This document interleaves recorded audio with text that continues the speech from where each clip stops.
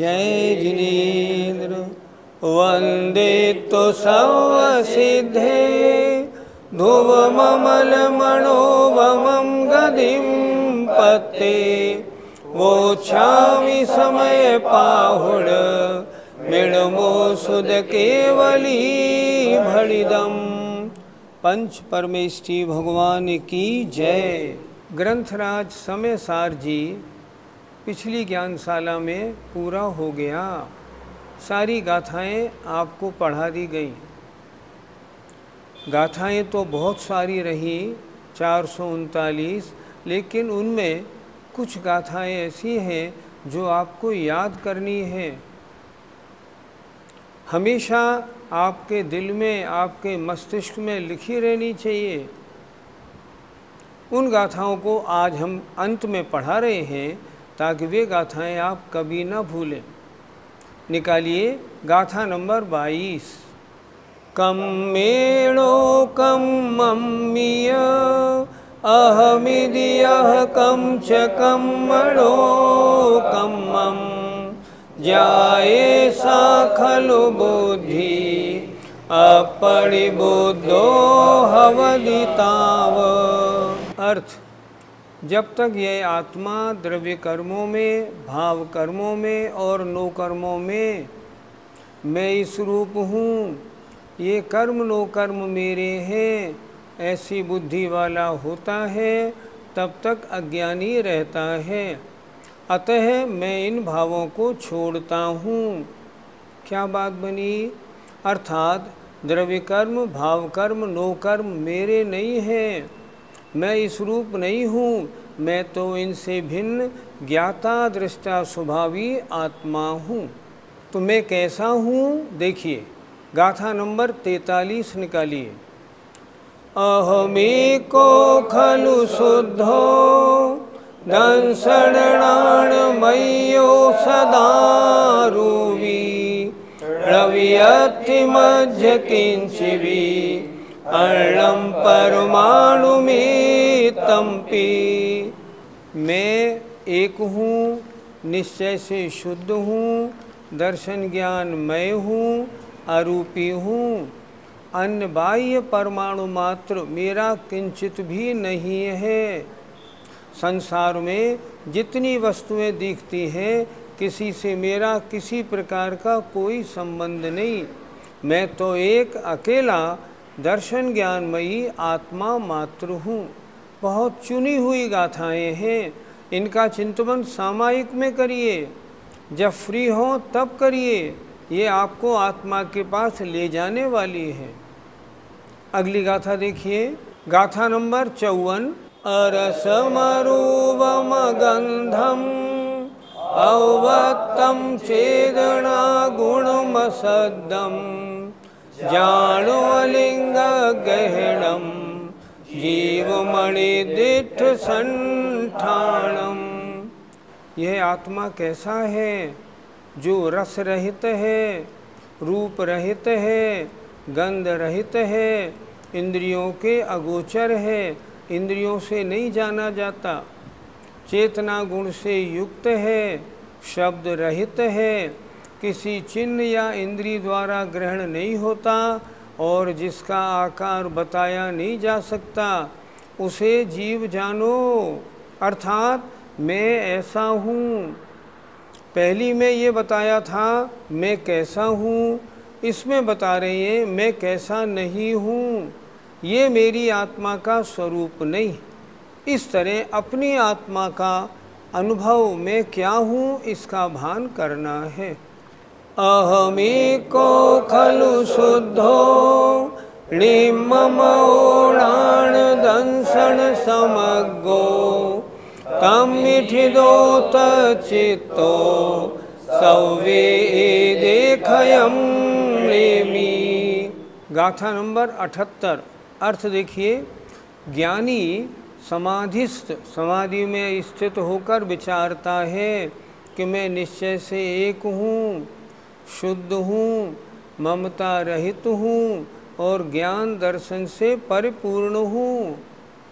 अतः उसी स्वभाव में स्थित होता हुआ एवं चैतन्य के अनुभव में लीन होता हुआ मैं उन क्रोधादि सब आश्रव भावों का क्षय करता हूँ। अर्थात जब तक मैं अपने स्वभाव में लीन नहीं रहूँगा, तब तक तो मैं आश्रव भावों को बनाता रहूँगा। आश्रव भावों मेरे में होते रहेंगे और जब मैं अपने चैतन्य के अनुभव में लीन हो जाऊँगा, तब मैं इन सब आश्रव भावों से दूर हो जाऊँगा। आश्रव हेय हैं, अतः मैं इन आश्रव भावों को छोड़ने के लिए अपने स्वभाव में स्थित होता हूँ। गाथा एक सौ सतावन रतो बंधनिकम्मं मुंचद जीवो विराग संपन्नो एसो जिणो वदेशो, तम्मा में सुमारज्य। अन्य पदार्थ में राग करने वाला जीव कर्मों से बंधता है और वैराग्य से संपन्न जीव कर्मों से छूटता है। ऐसा जिनेन्द्र भगवान का उपदेश है। इसलिए शुभ और अशुभ कर्मों में राग मत करो। कितनी अच्छी गाथा है देखो। जब तक हम अन्य पदार्थों में, शरीर, स्त्री, पुत्र, धन, पैसा आदि में राग करते रहेंगे, तब तक तो बंधते रहेंगे। और जब इनसे राग दूर कर देंगे, वैराग्य में आ जाएँगे तो हम कर्मों की निर्जरा करने लगेंगे। आज हम सुबह से शाम तक इस राग के चक्कर में फंसे हुए हैं। हम अपना स्वरूप नहीं जानते, इसलिए वैराग्य हमें नहीं होता। जिस दिन हम ये जान जाएँगे, ये कोई पदार्थ मेरा नहीं, मेरा तो मैं अकेला हूँ। बस उसी दिन पदार्थों से राग छूट जाएगा और अपनी आत्मा से राग हो जाएगा। जब तक राग है, तब तक बंद है। और जहाँ राग गया, वहाँ बंद तो गया ही गया, कर्मों की निर्जरा प्रारंभ हो गई। इसलिए हमें क्या करना? शुभ और अशुभ कर्मों में राग मत करो। ये संसार के कारण है, ऐसा समझो। तो कैसे बने? शुभ अशुभ कर्मों में राग मत करके अपने को वैराग्य में बनाओ। गाथा नंबर 218 छिजदुवा भी जदुवा निजदुवा अहव जादु विपलयम् जम्मा तम्मा गच्छदु परिगहो मध्य आचार्यों ने कितनी अच्छी गाथाएँ लिखी हैं। इन गाथाओं के लिखने में उनकी किसनी, कितनी विशुद्धि बड़ी होगी। और कितनी विशुद्धता में आके उन्होंने इन गाथाओं को लिखा होगा। देखें, यह शरीराधिक परद्रव्य, भले ही छिद जाओ, भिद जाओ, अथवा कोई इसे ले जाओ, अथवा नष्ट हो जाओ, जिस किसी दशा को भी प्राप्त हो जाओ तो भी यह मेरा परिग्रह नहीं है, यह निश्चित है। परिग्रह क्या जिसको मैंने ग्रहण किया हो? शरीर आदि पद्रव्य चाहे छिद जाए, चाहे भिद जाए, इसे ले जाओ। शरीर आदि परद्रव्य मेरे है ही नहीं। शरीर आदि परद्रव्य तो पुद्गल हैं, मुझसे भिन्न हैं, अन्य हैं। ये मेरे कैसे हो सकते हैं? नहीं हो सकते। इसलिए शरीर आदि परद्रव्यों के छेदन भेदन में मुझे राग, द्वेष परेशान होने की आवश्यकता नहीं। जब कोई जीव समाधि करते हैं ना, तब वो इन बातों का विचार करते हैं। मेरा शरीर दिन प्रतिदिन कमज़ोर होता जा रहा है। अब ये अंतिम समाधि की पूर्णता की ओर जा रहा है, जाने दो।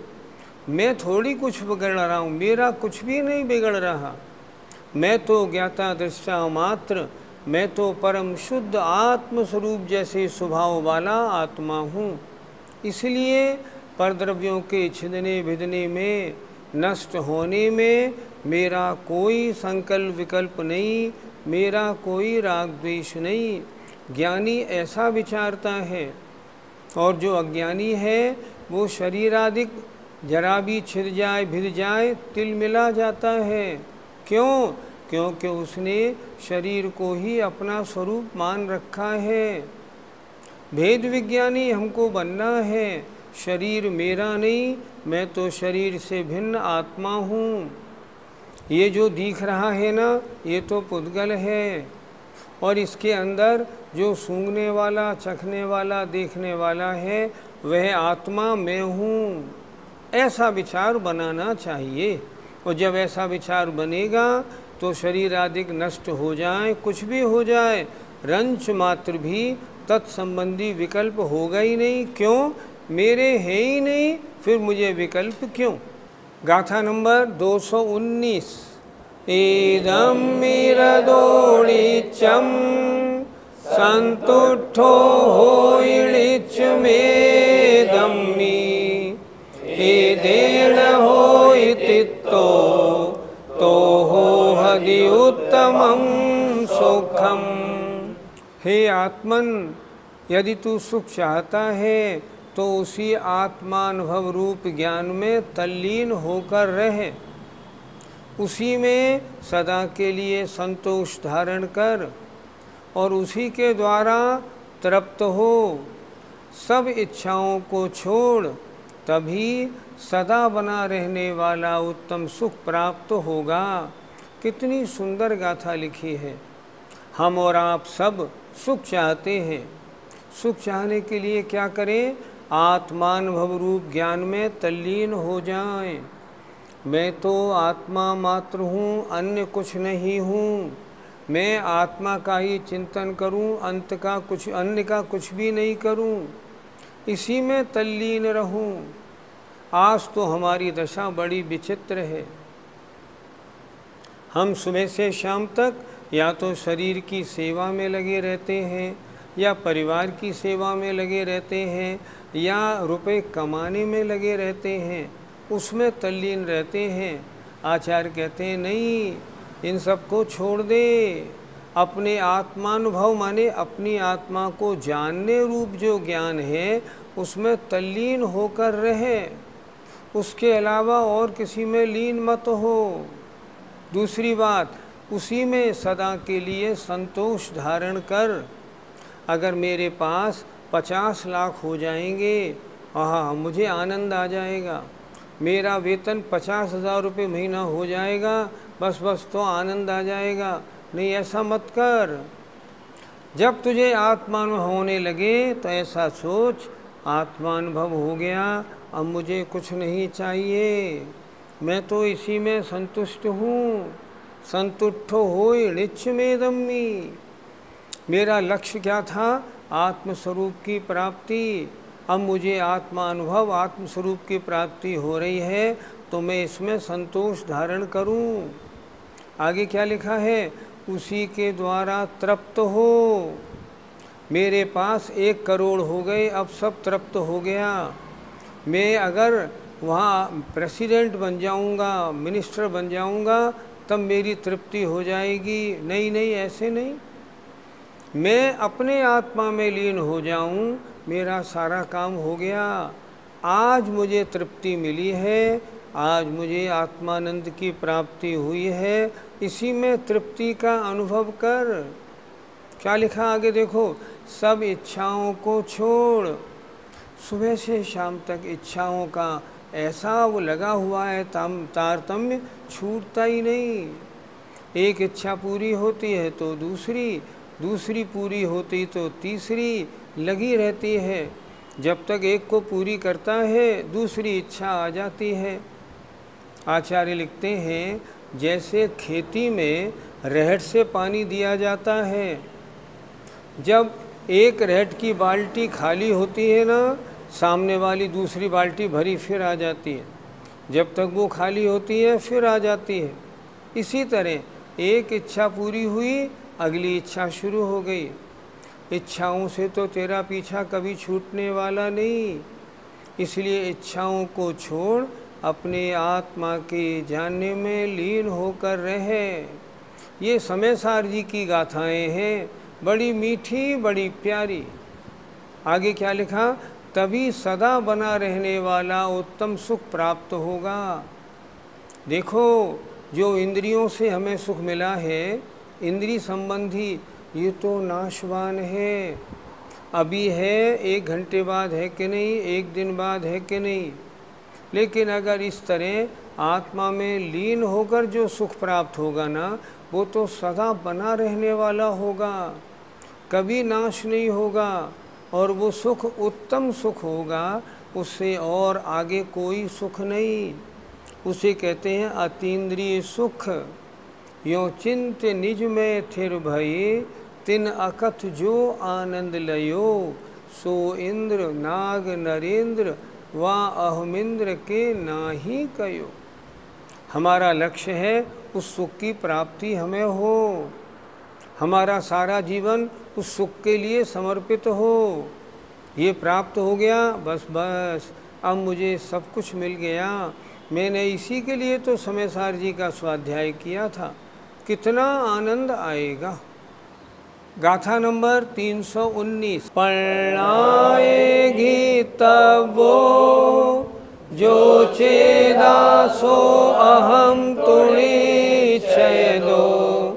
अवशेषा जे भावा ते मज परितिणा दवा प्रज्ञा माने बुद्धि के द्वारा इस प्रकार ग्रहण करना चाहिए कि जो चिदात्मा है, जो चैतन्य स्वभावी जानने देखने वाला आत्मा है, निश्चय से वह मैं हूँ। शेष जो भी भाव हैं जो भी पदार्थ हैं, जो भी द्रव्य या वस्तु हैं, जो मुझे दिखाई पड़ती हैं, वे मुझसे पर हैं। यह जानना चाहिए। इस गाथा को आचार्यों ने तीन प्रकार से लिखा है। एक तो यही लिखा, पढ़नाए घितब्बो जो चेदा। प्रज्ञा से ग्रहण किया गया जो आत्मा है, वह मैं हूँ। दूसरी गाथा लिखी पढ़नाए घितब्बो जो डट्ठा, जो देखने वाला है वह मैं हूँ। तीसरी गाथा लिखी पढ़नाए घितब्बो जो दा सो अहम तु निश्चय दो। तीन बातें लिखी, प्रज्ञा के द्वारा ऐसे ग्रहण करो कि जो जानने देखने वाला है, जो दर्शन करने वाला है, जो जानने वाला है, जो चेतयता है वह तो मैं हूँ। इसके अलावा अन्य जो भी भाव हैं, वे सब मुझसे भिन्न हैं। इस प्रकार जानो। जब इस प्रकार हम जान लेंगे तो आत्मा के अलावा अन्य किसी पदार्थ में अपना इंटरेस्ट बनेगा ही नहीं। कोई पदार्थ चाहे नष्ट हो जाए, चाहे कुछ भी हो जाए, लेकिन फिर भी मुझे उसका सुख दुख होगा ही नहीं। क्यों? मुझसे पर है। और मेरी आत्मा में अगर ज़रा भी कोई गड़बड़ी होगी तो वो मुझे बर्दाश्त नहीं होगी। आत्मा से भिन्न जो कुछ मुझे दिख रहा है, ये सब भिन्न पदार्थ, ये मेरे कोई नहीं है। मैं तो चैतन्य आत्म स्वरूप मात्र हूँ। जब ऐसी बात बन जाती है, तब शरीर से भी निर्ममत्व हो जाता है। हम प्रथमान युग के शास्त्रों में पढ़ते हैं, मुनि महाराजों के ऊपर बड़े बड़े उपसर्ग होते हैं, लेकिन वो अपनी साधना से चिकते नहीं। क्यों नहीं चिकते? क्यों उन्होंने ये मान रखा है? जो जानने देखने वाला है, वह तो मैं हूँ। ये शरीर, स्त्री, पुत्र वगैरह सब कुछ ये मेरे कोई भी नहीं है। पद्म पुराण जी में लिखा है जब रावण ध्यान करने लगा, बहुरूपी विद्या सिद्ध करने के लिए, तब तो वहाँ अंगद आदि आए। उन्होंने कहा, इसके ध्यान को कैसे भंग किया जाए? तब उन्होंने क्या किया? उनके परिवारी लोगों को वहाँ लाए। ऐसा उसे दिखाया माया से। हम तुम्हारे परिवारी लोगों को घसीट रहे हैं, मार रहे हैं, पीट रहे हैं। लेकिन रावण रंच मात्र हिला नहीं। क्यों नहीं हिला? उसका विश्वास था, ये मेरे नहीं, मेरा तो बस मैं हूँ। ऐसी धारणा बन जाती है। जयपुर में एक सज्जन समाधि में थे। उनके सारे शरीर में कैंसर का बड़े बड़े फपोले पड़ गए थे और उनसे मवाद बह रहा था। घर वालों ने उन्हें निकाल के बाहर गैरेज में रख दिया था। इतनी बदबू घर में हम कैसे बर्दाश्त करें? हमारे साथ वो स्वाध्याय किए हुए थे। हम उनको देखने गए और हमने उनसे कहा, ओहो, तुम्हारा क्या हाल हो गया भैया? ये तो बड़ी गड़बड़ हो गई। लेकिन देखो, आनंद की बात, वो मुस्करा रहे थे। उन्होंने मुस्कराते हुए कहा, क्यों, आप भूल गए? समय सार जी के स्वाध्याय में क्या पढ़ा था? आत्मा मैं हूँ आत्मा के अलावा जितने पदार्थ हैं, वे में नहीं। जो ये सड़ रहा है ना, जिसमें से मवाद निकल रहा है ना, ये मुझमें से नहीं निकल रहा। मेरी आत्मा में तो मवाद है ही नहीं। मेरी आत्मा में तो मल भरा हुआ है ही नहीं। आपको जो दिख रहा है, ये मेरा स्वरूप है ही नहीं।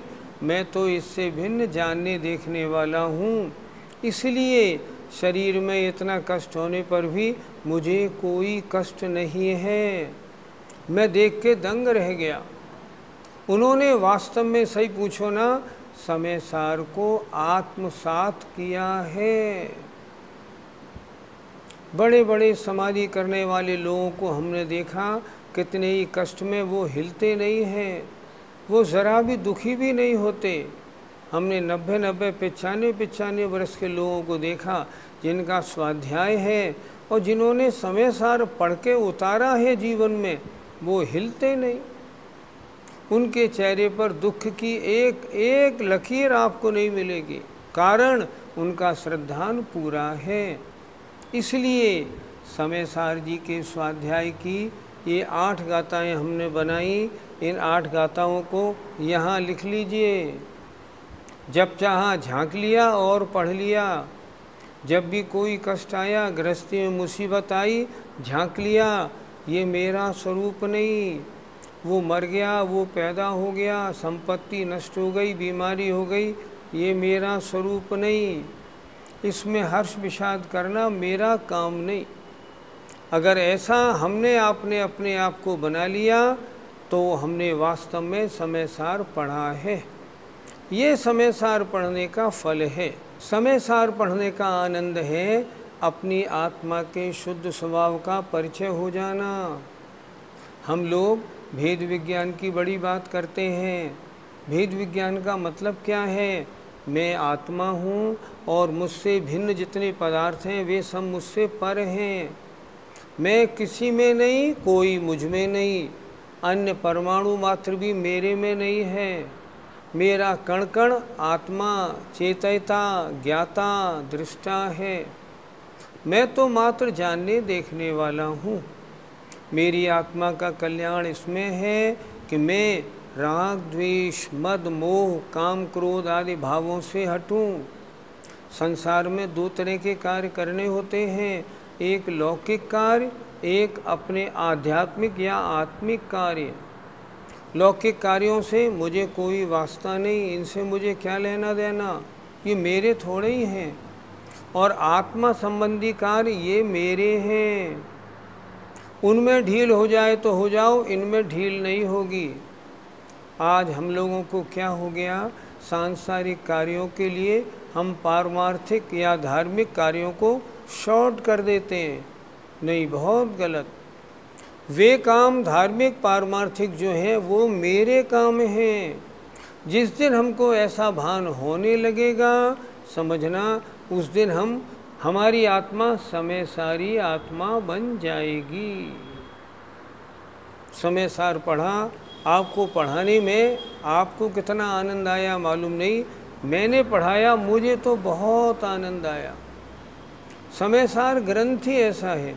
सही पूछो इसमें अमृत भरा है, इसमें आनंद भरा है। खूब पढ़ो, अच्छी तरह याद करो और अपने जीवन में उतारो। अंतिम गाथा चार सौ उनतालीस में आचार्य महाराज ने कहा है, जो इस समय समय सार को पढ़कर, अर्थ तत्व को जानकर, अर्थ को अपने जीवन में उतारता है, उसको परम सुख की प्राप्ति होती है। अर्थात उसकी आत्मा समय सार बन जाती है। समय माने आत्मा समय सार माने श्रेष्ठ आत्मा, और यही तो हमारे जीवन का लक्ष्य है। हमारी भावना है, आप सब श्रोतागण इस समय सार को अपने जीवन में उतारें और अपनी आत्मा को समय सारी बनाएँ। सुख दुख में समता भाव धारण करने वाला बनाएँ और व्रति बनने की और मुनि या आर्यिका बनने की सोचें। अगर ऐसा करेंगे तो हमारा समय सार पढ़ना सफल होगा। हमारी कामना है, आप सबके ज्ञान और वैराग्य की वृद्धि हो। बोलिए समय सार ग्रंथ राज की जय। बोलिए, आचार्य कुंद कुंद महाराज की बोलिए, आचार्य विद्यासागर जी महाराज की जय। जय जिनेन जय जिनेन जय जिनेन। इस कार्यक्रम के पुण्यार्जक हैं मानक चंद कमला देवी, राकेश कुमार नीतू, ऋषभ सौम्या एवं Ayushi Musharraf. B one twenty three Sethi colony Jaipur. Premchand Vijay Lakshmi Ajmera, Jaipur. Ashok, Rajlakshmi Pandya, Jaipur. Sunil, Renu Kasliwal, Nai Delhi. Sunil Kumar Sunil Kumar, Jitendra Jain Diwan. Fatehlal Ratanbai, Inder Kumar, Mahesh Kumar, Ashok Kumar, Rajendra Kumar Jain, Ashoka lights, Jaipur. स्वर्गीय सौरभ जैन की दसवीं पुण्य स्मृति में पिता S C Jain, माता स्नेह जैन, भाई गौरव जैन, भाभी सोनिया जैन, अतिशय आन्या जैन, बहन गरिमा जैन, जीजाजी नीरज जैन, समीर रिजुल जैन।